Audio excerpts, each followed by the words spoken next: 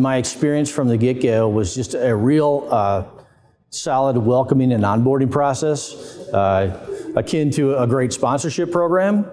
So the Department of Sustainment and Force Management, from the operations uh, officer, bring me on board, secretary, vastly important person, uh, on up to director. Just, hey, Mr. Barnes, what do you need to be successful? Uh, I had that formal process that goes on to onboard.